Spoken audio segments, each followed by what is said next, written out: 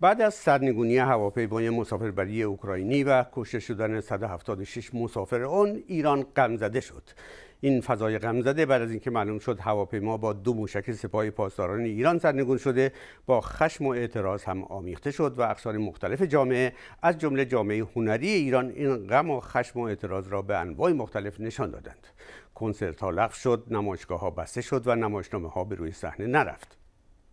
ولی اونچه بیشتر از همه با واکنش خشمالود حکومت مواجه شد اعلام انصراف بسیاری از سینماگران از شرکت در جشنواره فجر بود. چرا حضور سینماگران معتبر در جشنواره فجر انقدر برای حکومت ایران مهم است؟ محمد علی طالبی کارگردان شناخته شده سینما و تلویزیون است با حضوری پررنگ در جشنواره های بین‌المللی و دارای جوایز متعدد. آخرین حضور او در بخش بین‌المللی جشنواره فجر با فیلم جای خالی دوست بود. محمد علی طالبی مهمان من در این برنامه است. به نظر او با وجود اینکه شمار زیادی از سینماگران جشنواره فجر را تحریم کردند چرا قرار است فیلم های اکثر اونها در جشنواره نمایش داده شود؟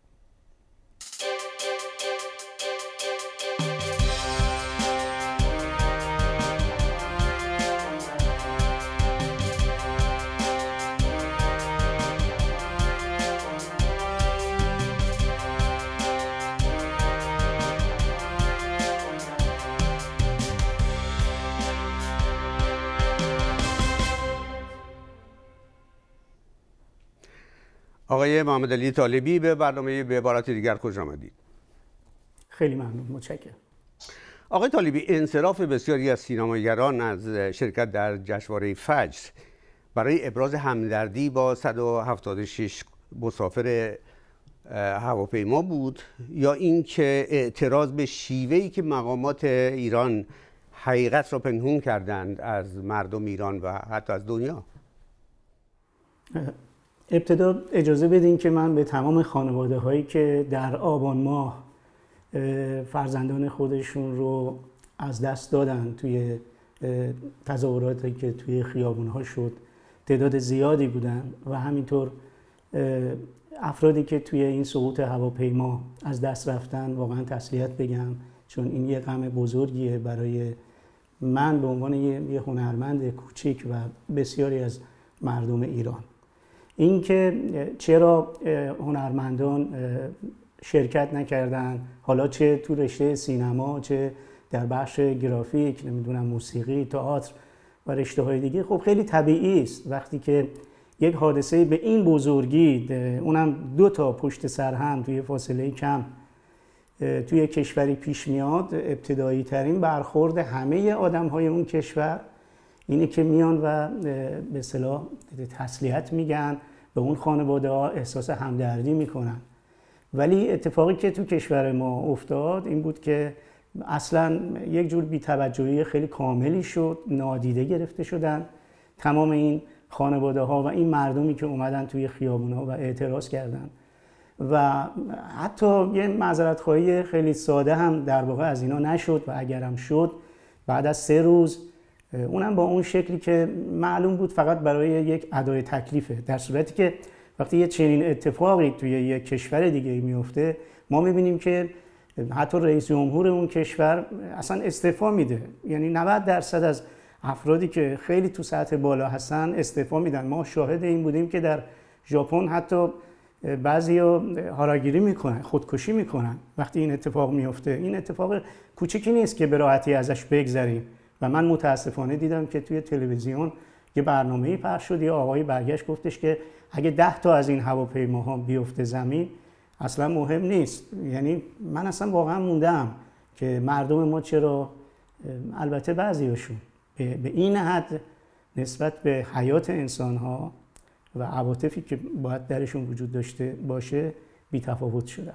ولی آقای طالبی اسم شما در جمع سینماگران انصراف دهنده نیست. آیا این به این دلیل که شما فیلمی به جشنواره امسال نفرستاده بودی و قرار از اول نبود که شرکت داشته باشین کلا به هر حال ما یه تعدادی فیلمساز داریم که جز نخودی ها هستن.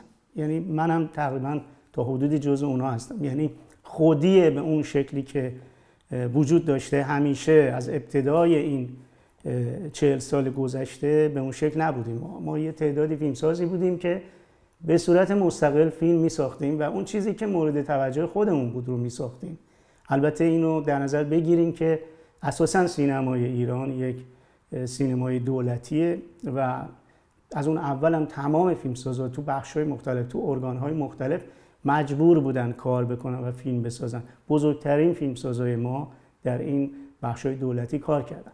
منتها همیشه یه مفری پیدا می‌کردن که بتونن حرفاشون رو بزنن فیلماشون بسازن.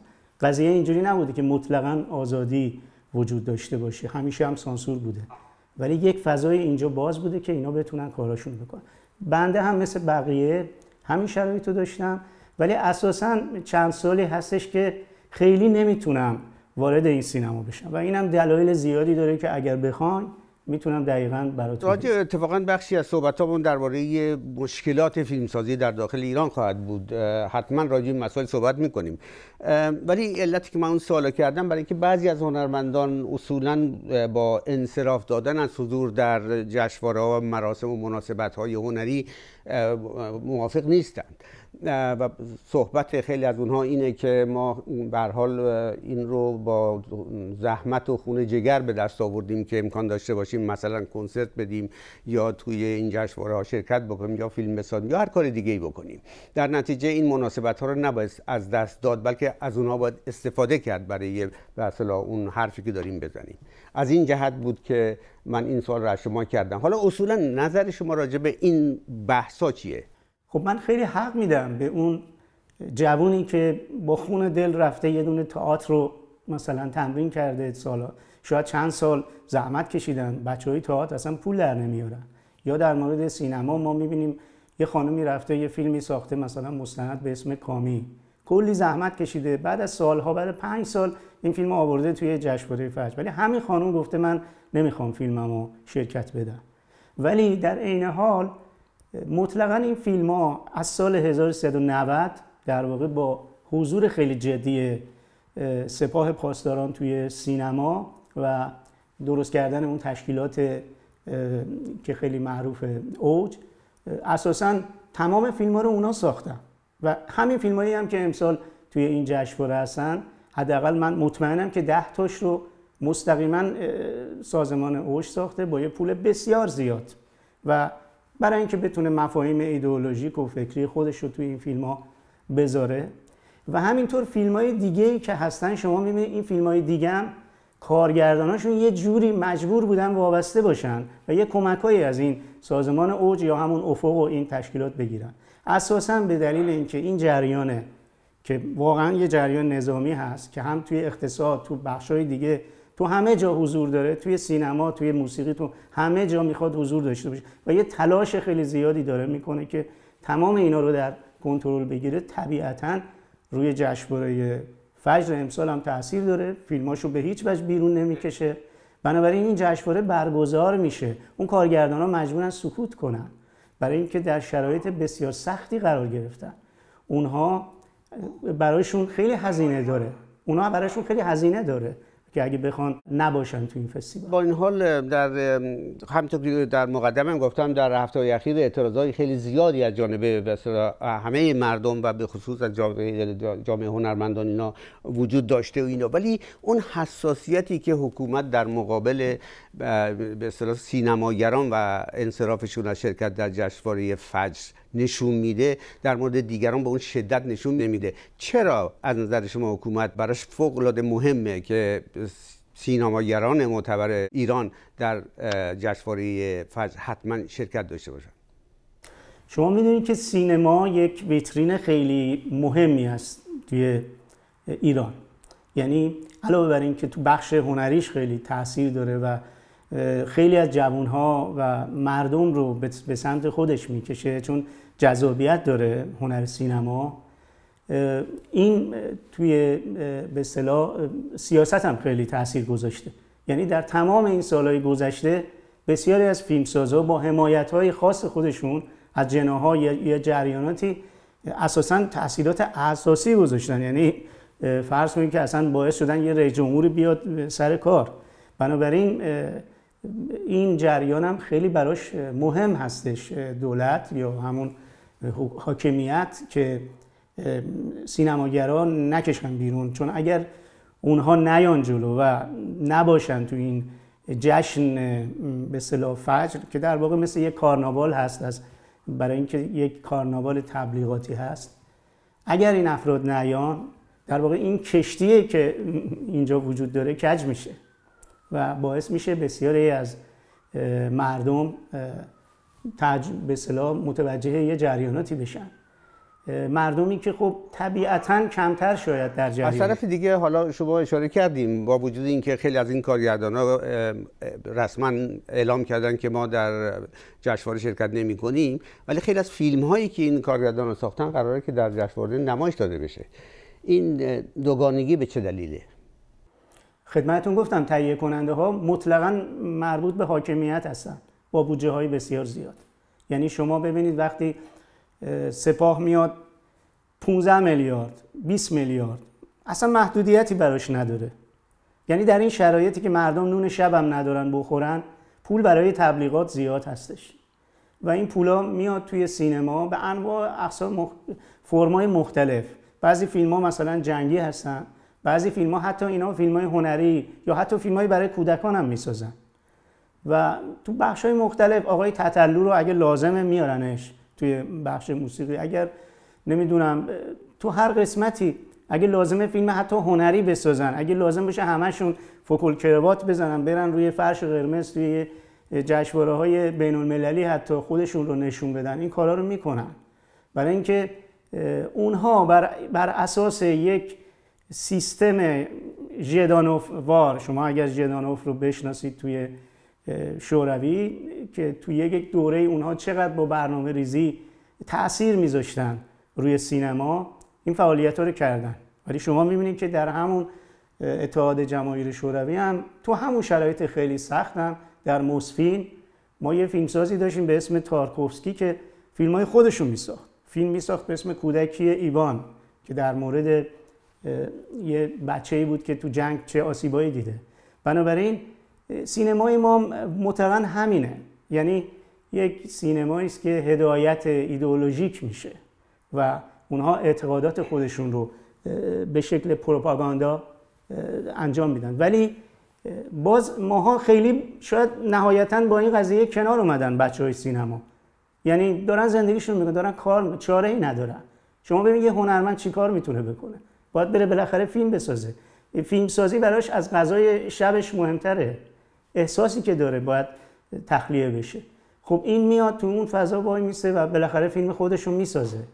منتها اون دسته از فیلمسازایی که مستقل هستن و سالها تلاش کردن روی مسیری حرکت کنن مثل مو یعنی مثل یک تار مو که اونجا حرکت کنن و فیلمشون رو بسازن و به حد اقل حرفاشون برسن. با تمام محدودیت هایی که وجود داره اونها هم شما می‌بینید الان دیگه نمی‌تونن. یعنی الان یک فضایی است که دیگه راه رفتن روی خطوط خاکستری غیر ممکنه اخیرا آقای طالبی اخیرا یک یادداشتی خوندم از یکی از همکارای فیلمسازتون آقای محمد علی سجادی. که نوشته همه چیز امنیتی و نظامی شده. تجلی اتحاد سیاست و سرمایه در جشن دولتی فجر پیداست. ممیز و ممیز منتقد و بولتن نویس و خیلی چیزهای دیگه موانعی هستند تا تا را محک بزنند. یعنی هیچ فضای طبیعی و عادلانه وجود نداره. به حال حرفایی که شما دارید می‌زنید در واقع همین هست. دقیقا من با ایشون موافقم. ایشون هم یکی از افرادیه که طی این سالها واقعا خیلی مشکلات داشته. یعنی نتونسته واقعا خیلی از اون ایده ها و افکارش رو به وسیله سینما بیان کنه. من حتی شنیدم این آخری ها ایشون میرم نقاشی می‌کرد. دیگه چیکار کنه؟ برای اینکه احساساتش رو بتونه بیان کنه میرم نقاشی می‌کرد. خب حالا سپاه از کی وارد عرصه سینما شده و پولش از کجا میاره؟ ببینید بعد از انقلاب که تقریبا میشه گفت از همون سالهای بعد از انقلاب اساسا سپاه به شکلهای مختلفی توی سینما بود حضور داشت و اینا فیلم های همیشه فیلم های پولدار رو اینا رو می ساختن فیلم هایی که بینندم نداشت.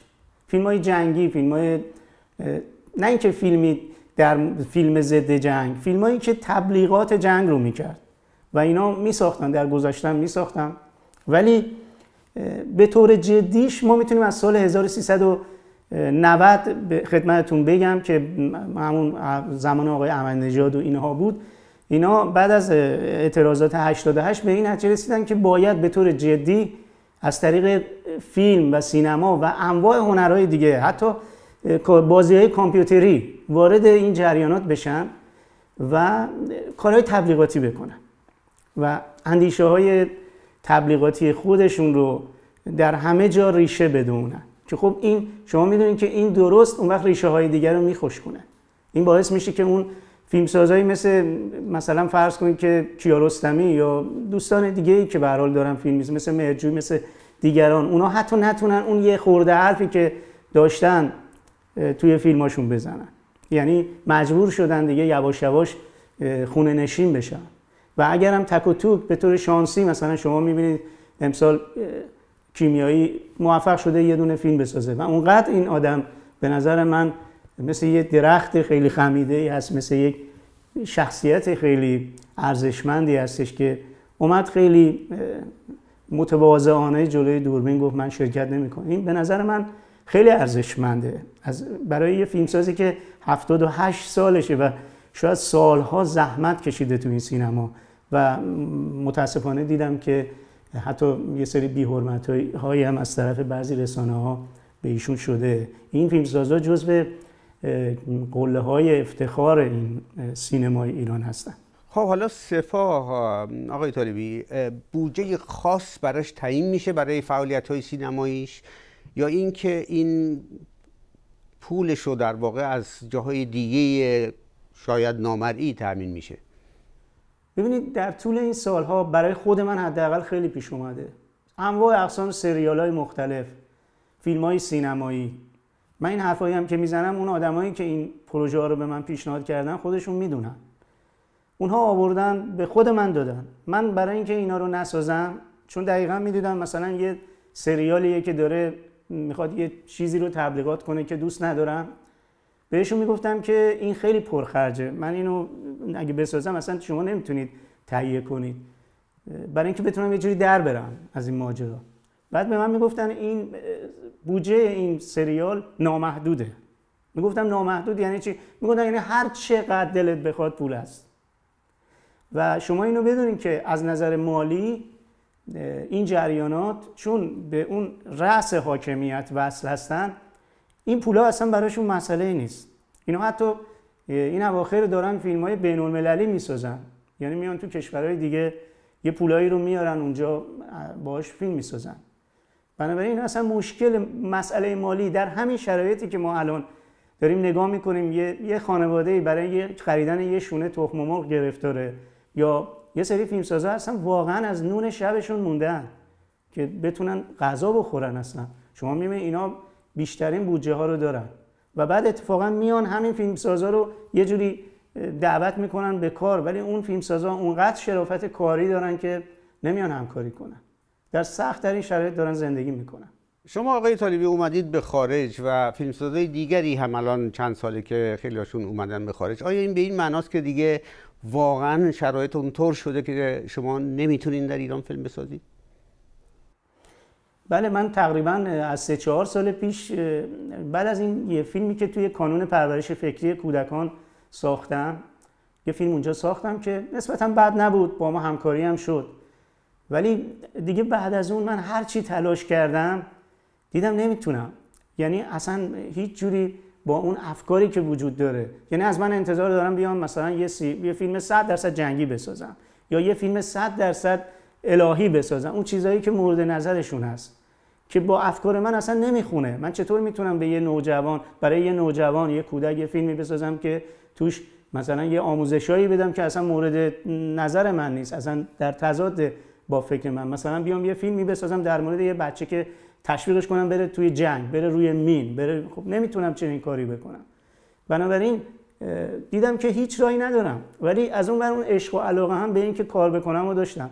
اومدم سه تا فیلم تقریبا بلند مستند داستانی ساختم. با با بودجه خودم یعنی از جیب خودم. حدود 150 میلیون برای این سه تا فیلم خرج کردم.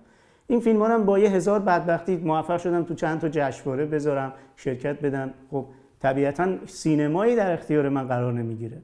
اصلا ما به قول معروف عددی تو این فضایی که به وجود اومده نیستیم. بنابراین دیدم دیگه نمی‌تونم کار کنم. و این سه تا فیلم من با خودم برداشتم.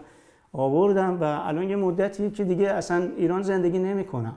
چون مطمئنم که نمی‌تونیم ما اونجا دیگه ادامه بدیم. اینقدر شرایط سخته. همه اینا به یک طرف. اون مسئله که خیلی مهمه ببینید اینکه این جریانات میان سینما رو می‌گیرن دستشون همه ماها رو اوت می‌کنن. این باز مهم نیست اگر ما رو اوت کنن. شما نگاه می‌کنید می‌بینید بعضی هم تحت فشارهای خاصی قرار میدن. یعنی فلان فیلمساز که حالا یه فیلمی ساخته فرض کنید که آقای رسولوف بعد میان تازه به اون میگن که تو چرا این فیلمو ساختی؟ بعد میان مؤاخذش می‌کنن بعد میان اونجا در واقع دادگاه براش تشکیل میدن. همون آدمایی که تو همون سازمان اوج هستن. یعنی ما داریم مواجه میشیم با یک جریانی که حالا اون داره مؤاخذه می‌کنه بازجویی هم می‌کنه. یعنی قضیه واقعا پیچیده شده. تو این شرایط خب بعضی از بچه ها نمی‌تونن خارج بشن به دلیل اینکه پاسپورتاشون همه گرفته شده در کشور انداخته شده. اونایی که می‌تونن گاهی می‌زنن بیرون و, و اون بچههایی هم که می‌زنن بیرون بسیار براشون سخته. شما خودتونم می‌دونید دوستانی هم که حالا توی بی بی سی یا جاهای دیگه کار می‌کنن می‌دونن چقدر سخته برای یه آدمی که تازه بلند میشه از کشور خودش می‌کنه میاد بره یه جای دیگه تازه استارت بزنه فعالیت کنه. بسیار زندگی هاشون سخته. آقای خب طالبی به دلیل اون صداقتی که دارن با. این کارو می‌کنن. آقای طالبی سینمای ایران برای یک دور درخشید و اعتبار جهانی کسب کرد. جوایز معتبر زیادی گرفت. آقای اسقر فرهادی دو جایزه اسکار گرفت. کارگران دیگه مثل خود شما جوایز متعدد معتبر دیگه از جشنواره بین‌المللی دریافت کردن. آیا به نظر شما احیانا الان دیگه شاهد افول سینما ایران هستیم؟ ببینید همچنان من چون اعتقاد دارم که مردم ایران به طور تاریخی همیشه هنرمند بودن همیشه تاثیر میذاشتن. این هنرمندای ما کار خودشونو می‌کنن فیلم های خودشونو می‌سازن. این جریان بازم ادامه خواهد داشت. سینماگران اگه شده خودشون با بودجه های خودشون فیلم های کوچیک هم بسازن می‌سازن. من یادم خانم بنی اعتماد همون فیلم قصه ها رو با هزینه های شخصی خودش ساخت. در سخت در این شرایط ساخت. بعضی از بچه ها بدون پروانه نمایش پروانه ساخت فیلم می‌سازن. بچه ها کار خودشون می‌کنن. این سینما هیچ وقت متوقف نمیشه. ولی خب این بچه ها در مقابل یک صد خیلی بزرگی به اسم سازمان سینمایی اوج و این جریانات دارن این کار رو انجام میدن. جریانی که حتی میاد به خودش این اجازه رو میده به فیلمسازای ما مثل خانم بنی اعتماد بی احترامی بکنن توی تلویزیون. جریانی که تمام تلاشش رو می‌کنه که بمباران بکنه. هر نوع اندیشه ای رو هر نوع تفکری رو. حالا شما فیلمسازانی مثل شما که به خارج اومدن آیا امیدوار هستید که امکاناتی برای فیلمسازی براتون پیدا بشه که در خارج بتونین کارتون رو ادامه بدید؟ ببینید ما تلاش خودمون رو می‌کنیم. کما اینکه بعضی از فیلمسازا رو شما می‌بینید اینجا مثلا فیلم های مستند درخشان ساختن یا در خود اتریش در وین چون من نزدیک وین هستم. شما می‌بینید که مثلا فیلم ساختن توی جشنواره های مختلف مطرح شده. هیچ وقت این آدما نمی‌تونن اون پولای گنده ای رو که سازمان اوج میده به اون فیلم سازای مخصوص خودش که الان ده سال هر سال اونا دارن فیلم می‌سازن. خب هیچ وقت نمی‌تونن اون پولا رو در بیارن. یا حتی اون ریل تراولینگ و نمی‌دونم اون دوربین اونا رو داشته باشن. ولی بچه ها تلاش خودشون رو دارن می‌کنن. اگرم مثلا من خودم رو بگم فرض کنید اگه من نتونستم فیلم بسازم دیگه مهم نیست. میرم توی کافی شاپ کار می‌کنم. ولی عرق نمی‌کنم. وقتی که بهم بگن چه فیلمایی ساختی رو پیشونیم عرق نمیشینه. میگم که من این چهار پنج تا فیلم رو برای بچه های سرزمین خودم ساختم. خجالت نمی‌کشم از اینکه رفتم چند میلیارد پول گرفتم و یه فیلمی رو که موزر بوده برای جامعه من. درست نبوده اونو ساختم. در واقع به یه نوعی نون خودم رو در لجن فرو نزدم بخورم. من نمی‌دونم چطوری آدمایی می‌تونن افرادی رو بکشن بابت اون کشتنشون پول بگیرن. ما در واقع مواجه هستیم با یه جریانی که میگه که اومده توی سینما و میگه سینما به مسابه 24 شلیک 24 تا موشکه. که از این 24 تا موشک 21 رو زدیم توی آمریکا با دو تاش هم هواپیما انداختیم و اون یکی هم فعلا گذاشتیم ببینیم کدوم فیلمساز حرف اضافه می‌زنه. اونو بتونیم بزنیم. بله. بسیار خوب آقای محمد علی طالبی. خیلی خیلی متشکرم از شرکتتون در برنامه به بار دیگر. ممنون متشکرم.